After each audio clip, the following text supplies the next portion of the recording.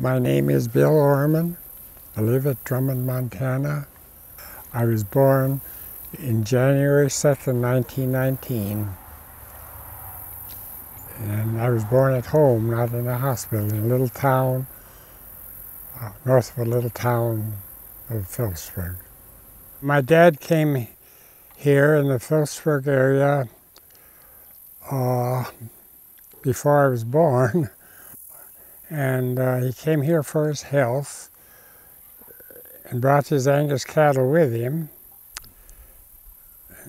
Those days he uh, he liked to show cattle, and he put them on the train, took them to Spokane. I think he showed them even in Chicago. He died when he was uh, 55 years old. My mother also died the very same year my dad died. She she also died of cancer, and they died within six months of each other.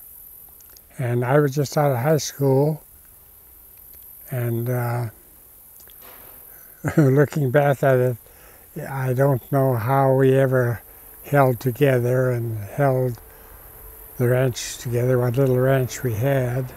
I had uh, three sisters, and, and they pitched in and helped. One of them was a school teacher, and she was here part of the time. And we just kind of worked together in a hopeless sort of way, I guess, and uh, had a few milk cows, and that's the only money that came in was from those cows. Uh, those are, looking back at it, those are hard things to think about even. The World War started in 1941. To me, the Army was a vacation.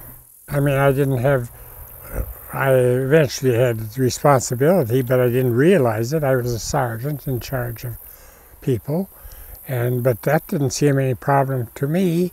They were just friends, you know, just like a group of friends working together.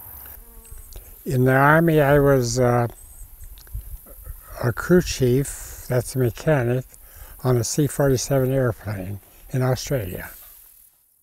First to Townsville, Australia, and we flew all over northern Australia and down to Brisbane and to Sydney a couple times, uh, just delivering supplies. That was a big thing then. Flew to Darwin, and a lot of trips to uh, New Guinea. We lost several planes. But I never felt like I was I don't ever remember being afraid. Never.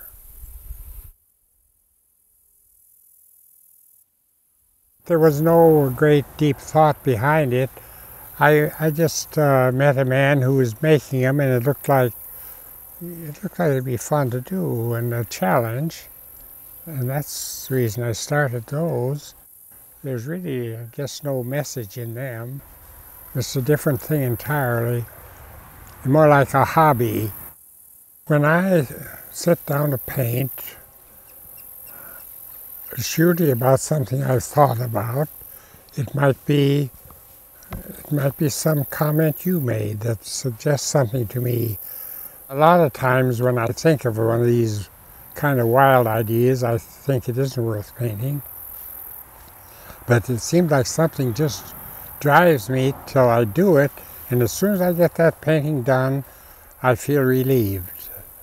I feel like it's something I was supposed to do, and and that now it's done, I can forget it. It's just a feeling I get. The paintings you you've seen are are mild to what I have stored away that I don't let anybody see.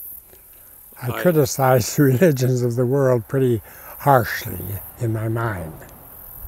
I know one fellow was here, and I heard that he said uh, he must be a devil worshiper. He's always got a devil in these pictures. but uh, but I'm not a devil worshiper. I'm I'm looking for the truth. I imagine the prophets had that same feeling. The trouble is, there are people like Hitler who probably had that feeling too. And uh, we know he was wrong. Uh, people like that, there's always been those in the world who were driven to, and so I can't feel that uh, maybe what I do is true either. I hope it is, but I'm afraid I'm pessimistic because I've seen so much of uh, Montana itself being destroyed in front of my right in front of my eyes. And people don't even don't even give it a thought you know when you deal with these uh, people that have uh, destroyed a valley for instance for some mineral cut all the timber off a, a mountain just for their personal gain and you compare those people to children, I think the children have truth in them and goodness that somehow older people lose. I have thought of uh, my own death. I'm 93 years old, and uh, you know, one thing's failing after another, uh, but that doesn't seem to scare me at all. I can't see why anybody would be af afraid to die because it's been done before. You know, other people have done that. I think there must be a life hereafter, yes. The reason I kind of think that is that uh, even the most primitive people have beliefs seems like it's just bred into the human race to believe in a hereafter. But I think what we have to think about is uh, what we believe right now, what I believe, maybe isn't true. We've seen so many of these religions come and go, and why should we suddenly feel that all of a sudden we have the religion after they've seen them come and go for 5,000 years? And why, why would it be, why would it be what happened to be what my parents taught me? I pretty much reject all that now. Uh, I rejected because they were parroting to me what they were told. They told me, expected me to go on, I suppose, and teach my kids the same. That doesn't really make any sense to me.